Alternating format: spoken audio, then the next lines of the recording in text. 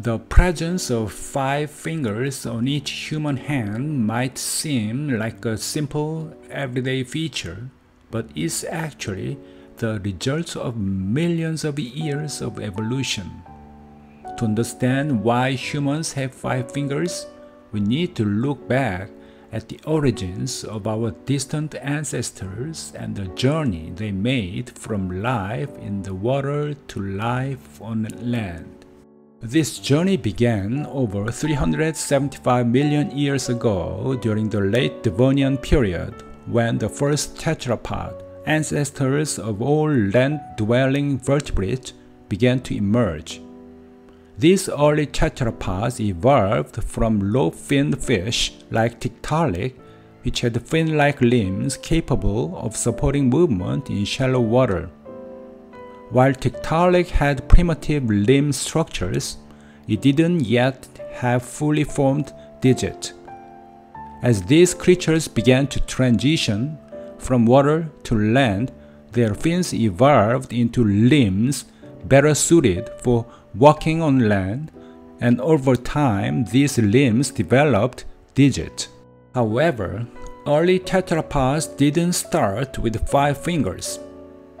Fossils from species like Acanthostega and Ichthyostega show that some early tetrapods had more than five digits, with up to six or eight fingers in some cases. The five-finger structure we see today was not immediately set in stone.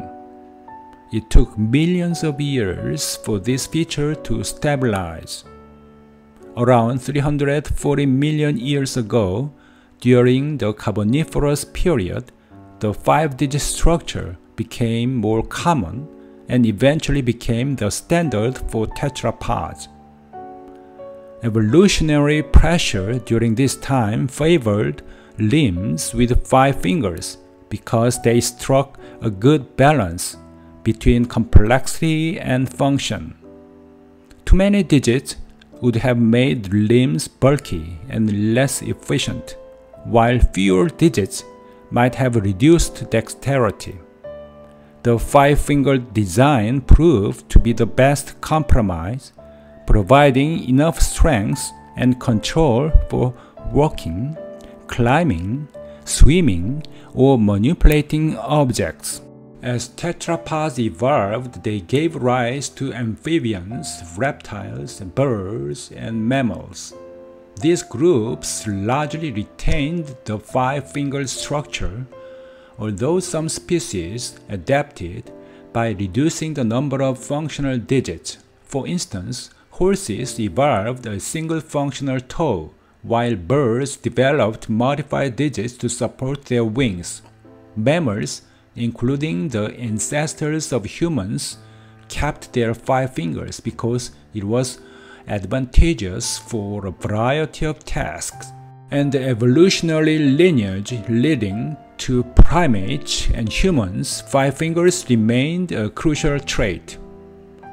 Primates adapted their limbs for grasping and climbing, developing an opposable thumb, which made their hands even more versatile.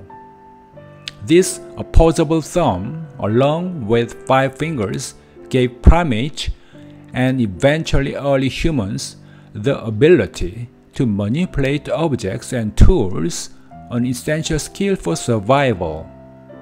Early humans could use their hands not just for climbing, but for crafting tools, using weapons, and developing fine motor skills like throwing and gripping, which gave them an advantage in survival. So, the five-fingered structure in humans is a direct legacy of the evolutionary journey that began more than 375 million years ago. While early tetrapods experimented with different numbers of digits, the five-fingered limb became the most efficient structure for land-dwelling vertebrates. Humans, like many other animals, inherited this trait and it has played a key role in shaping our ability to manipulate the world around us. The simple act of holding something in our hand is a testament to the long evolutionary history behind the five fingers we often take for granted. Thanks for watching.